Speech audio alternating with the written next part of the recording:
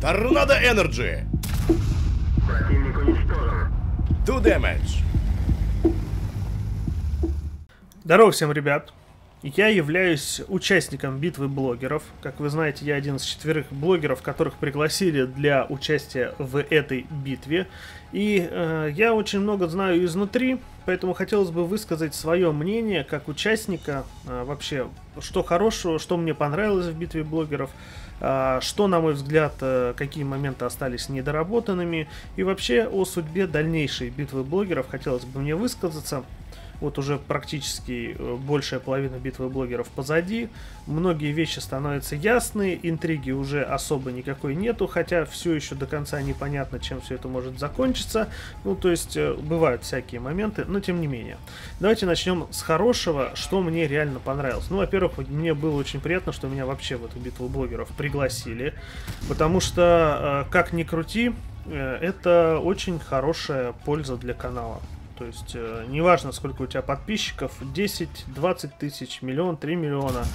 Э, если ты месяц висишь э, на главной странице сайта World of Tanks, это все равно э, дает людям узнать больше о твоем канале. Только за последнее вот непродолжительное время самой битвы блогеров на мой канал подписалось более 36 тысяч человек. Э, это, конечно же, благоприятно сказалось и на онлайнах, на стримах, и на просмотрах видео. И э, э, самое главное, это позволило мне преодолеть планку в 1 миллион подписчиков, который я уже очень давно мечтал и э, мне уже связались со мной представители Ютуба, спросили, куда мне высылать золотую кнопку. Очень приятно. Короче, я считаю, что я уже победил в этой битве блогеров хотя бы вот этим вот моментом. Я уж не говорю про то, что э, для многих зрителей, да, многие, кто э, вообще никак не знал о существовании блогеров и YouTube сообщества танкового, да, они узнали об этом. Ну и, в общем-то, э, пользу моего канала многие тоже оценили новости, какие-то лайфхаки. Ну и к тому же на стримах, хоть мне многие на стримах, там я когда с Женькой Минмашиной стримлю или с Эвелграни, я посмотрю, смотрю там комментарии, которые им пишут, там в основном, да он на фоне тебя играть не умеет. Конечно, я же не киберкотлета. Я всегда позиционировался как простой человек из народа, который имеет такие же проблемы, как большинство моих зрителей. То есть я ухожу с утра на работу, прихожу уставший, а, реакция у меня уже давно не как у 15-летнего мальчика, я уже гораздо за 30 лет, семейные обязанности. В общем, я играю так же, как может играть любой из моих зрителей. То есть я могу показывать, что просто правильные действия в бою, выбор позиции, правильный выбор тактики на бой может очень сильно повлиять. Даже если у тебя нет там каких-то киберспортивных навыков, ты все равно можешь отыграть замечательный бой. Ну, поэтому многие э, любят мои стримы и приходят их посмотреть, потому что я не какой-то небожитель, я такой же, как и все, и ну, многим просто приятно, что они то же самое могут проделывать без особых проблем. Ладно, это прям какая-то вместо того, что по битве блогеров, опять что-то про рекламу канала, э, значит, как это, по крайней мере, это выглядит как реклама канала. Следующий момент, это, конечно, который мне понравился, это то, что э, без всяких модов внутри игры появились э, какие-то элементы ну, мои, скажем так. На остальных мне как бы меньше э, интересно, свои, да, то есть наш уникальный стиль, наши надписи и так далее и тому подобное. Те, кто действительно являются поклонниками канала, для них приятно играть именно с эмблемами любимого канала. Поэтому это тоже очень круто, потому что, ну, этот след в любимой и популярной игре останется навсегда. Мы уже преодолели все необходимые планки, то есть мы разблокировали все ключи, набрали все необходимое количество очков, хотя половина битвы блогеров прошла. Поэтому я, ребят, всех призываю, кто в моей команде, набирайте 95 очков, чтобы получить все командные награды. А, с этим разобрались. То есть вот это вот все хорошее здесь реально приятно. Битва блогеров открыла многим глаза на то, что сейчас кого комьюнити поддерживает, а кого не поддерживает. Все это, ну, у меня, я этим всем очень доволен. Теперь, что мне э, не понравилось с точки зрения недоработки самой битвы блогеров. Значит, э, первый момент, который мне не понравился, это то, что э, люди, которые не определились с командой, то есть э, не вступили еще ни за кого из блогеров, могут видеть очки. Мне многие говорили, да типа, да блог... если блогеры бы даже хотя бы сами видели количество очков, они бы об этом информировали своих зрителей. Да в этом-то и дело, что это не проблема. Если ты за какого-то блогера топишь, тебе все равно на самом деле сколько у него будет очков, главное разблокировать командные достижения. Но, как я и сказал, огромный пласт игроков, которые вообще о блогерах никогда не слышали. И вот представьте себе ситуацию, что э, вы пришли на скачки, остался там последний круг, и вы видите, что какая-то лошадка, она оторвалась от всех остальных, ну, скажем так, на круг или на полкруга. А букмекер все еще принимает ставки. Будете ли вы ставить на э, лошадь, которая заведомо отстает? Ну, вы понимаете, да, к чему я. То есть, я считаю, что пока человек не определился с выбором команды, да, то есть, э, я не говорю про тех, кто топит за блогера, да, они выберут в любом случае, они будут знать количество очков и так далее, и расклад. Но это небольшое количество игроков. А вот большое количество игроков, которые просто вступают за лидирующую команду и еще не вступив, видят расклад. То есть, кто на первом месте, с каким отрывом идет и так далее и тому подобное. А, и э, многие вступают просто-напросто за лидера. И это ни в коем случае не претензии какая-то Димки левше, он все правильно сделал, молодец. А, то, что они своим, скажем так, киберспортивным составом в первые дни вырвались э, в лидеры, и просто-напросто эффект снежного кома позволил им это лидерство не просто удерживать, а еще и набирать отрыв. Просто-напросто те, кто приходят и вступают, они смотрят, кто на первом месте, им на самом деле пофигу на все эти э, нашивки и так далее. Я очень много видел комментариев, э, когда у Димки разблокировалось вот это вот камуфляж, комментарии были, а что там еще 95 очков надо заработать? Ну, то есть люди, многие, я не говорю про истинных э, поклонников творчества, да, кто является подписчиком канала. Я говорю про людей, которые просто-напросто пришли за победителя. Понимаете, да? Они думали, что они сейчас вступят, и все для них будет халява. Они сами ничего для этого делать не собирались. Они просто пришли за халявой. Свои X5 на 15 боев эти люди получат, ну и все. На все эти вот э, камуфляжи, нашивки им на самом деле глубоко пофигу. Ну, то есть вы поняли, это ни в коем случае не претензия, это недостаток, который разрушает соревновательный момент. То есть люди, очень многие люди, которым на самом деле пофигу за какого блогера вступать, потому что они об этих блогерах могли до момента входа в игру вообще ничего не слышать. Они тупо вступают за того, кто на первом месте. Ну, вы поняли, да, как это сработало. Поэтому это не совсем корректно. Мне кажется, было правильно не показывать количество очков до того момента, как игрок не определился с командой. Вот вступил ты в чью-то команду, ты можешь видеть расклад по всем блогерам. Не вступил, ты просто видишь блогера э, и его имя. Все. То есть его фотографию и имя. Все. Дальше ты определяешь уже исходя из собственных предпочтений. И мне кажется, не стоило разделять награды. То есть, ну, за первое место X5, за второе X4, X3, X2, за четвертое это здравый смысл.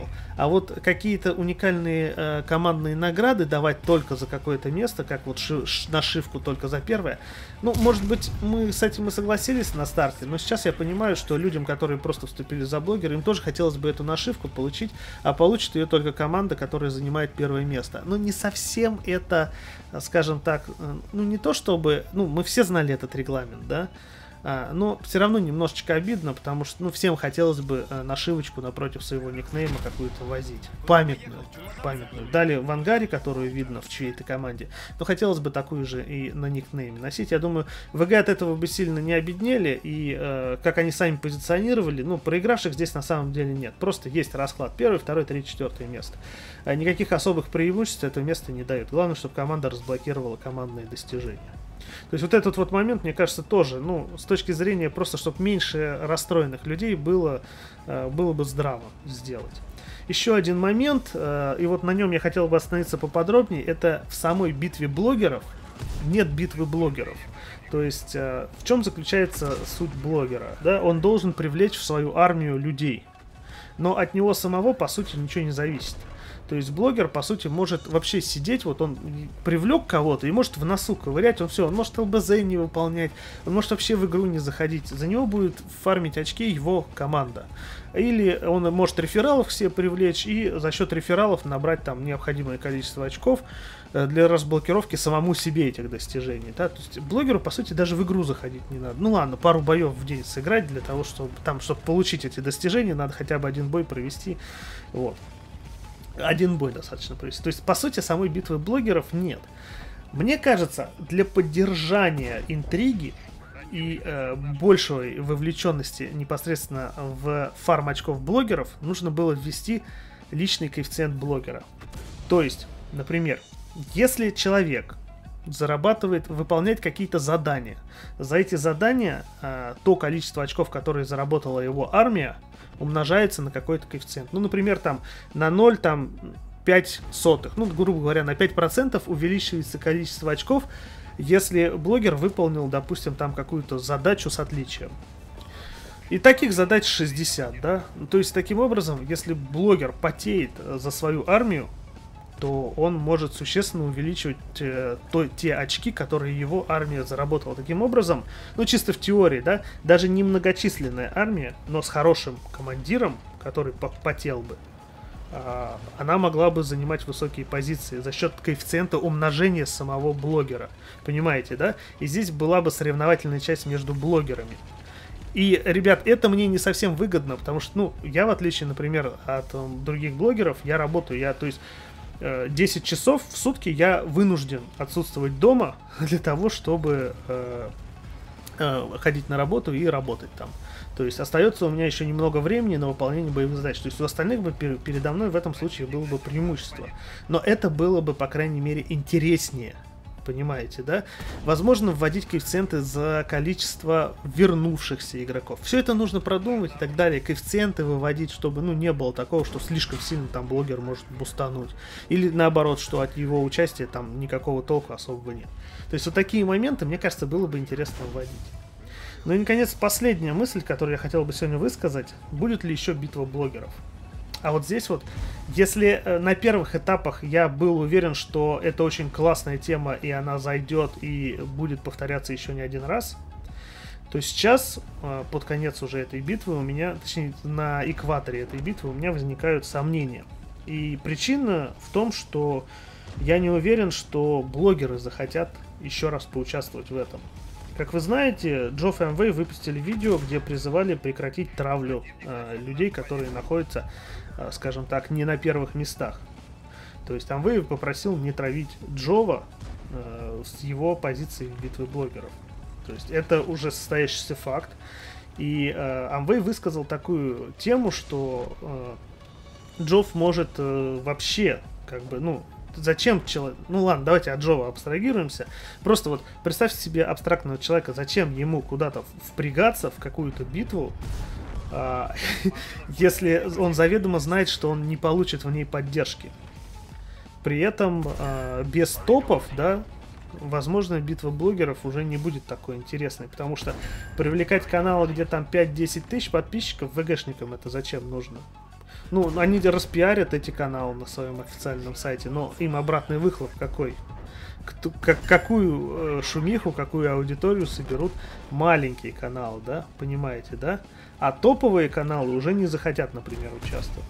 Ну, вы поняли, да? То есть сами участники, сами блогеры могут саботировать эту битву блогеров, если бы она, например, на будущий год захотела бы повториться.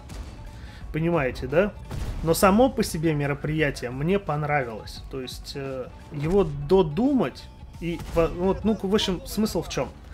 В том виде, в котором сейчас есть битва блогеров, я уверен, что она больше никогда не повторится, потому что либо э, блогеры откажутся, либо просто, ну, уже повторно не, не будет такого хайпа вокруг нее. Поэтому, если ее переработать, возможно, с учетом моих замечаний, да, то, э, возможно, даже топовые блогеры и повторно согласятся в этом участвовать, если они почувствуют, что они смогут э, большее влияние на исход оказывать, а не просто зависеть от того, сколько людей их любит, а сколько не любит. Кто играет за них, а кто принципиально играет против них. То есть, ребят, если сократить все видео до пары слов, то мне лично, мне лично битва блогеров понравилась и была очень полезна.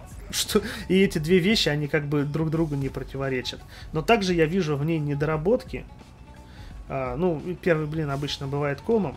И устранив эти недоработки, я думаю, это может стать очень интересным ежегодным ивентом, как VG Fest или, допустим, я не знаю, какие-то марафоны осенние. То есть это реально интересная вещь. Но что думаете вы обо всем этом? Вот хотелось бы узнать от вас в комментариях. Поэтому оставляйте свое мнение в комментариях, ставьте лайки, дизлайки. Это не имеет для меня никакого значения. Хочу видеть ваше отношение э, к данному видео. Подписывайтесь на канал и до скорых встреч.